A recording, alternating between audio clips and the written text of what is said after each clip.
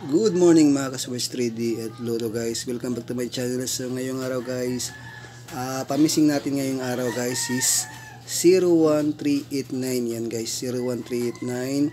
So yan yung missing sa araw na to guys. Is June 24, 2023 guys.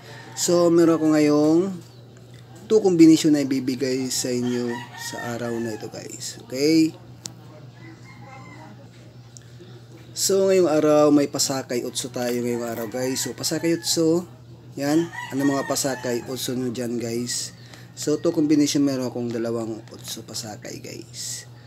So, comment sa baba, guys, kung ano mga best combination nyo sa araw na to, guys. Titingnan ko kapag pag mapili ko is pwede nyo yung tayang, guys. Kasi, ano, baka swerte yan yung numero na uh, kinamit nyo, guys.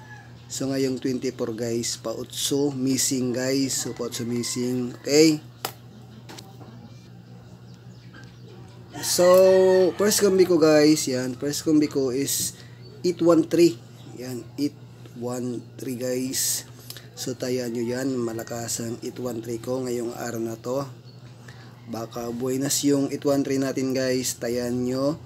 O di kaya guys, uh, pwede nyo i-slide yan guys. Kayo nang bahal mag-slide. So pwede nyo palitan to.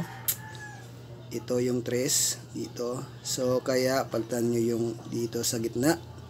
So kayo nang bahala guys anong mga discard nyo sa mga slide nyo dyan guys okay?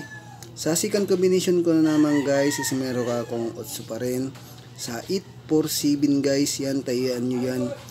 847 malakasan yan sa araw na to guys So, pa-slide yan guys. Pwede nyo gawin tong 4 dyan guys. Yan, 4. Uh, pa-double guys. So, yung pa-double, pwede kayong tumaya din dyan. Sa pa-double, kaya gawin nyo tong 8 guys. Yan.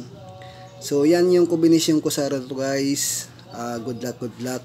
Uh, ito ay guys, only tips guys ha. Kasi hindi ako nagsasabi na lalabas talaga to hindi tayo sure win to guys. So ito ay guides and tips only ko lang okay? So good morning guys. Uh, see you my next vlog. Hanggang dito lang muna. Good morning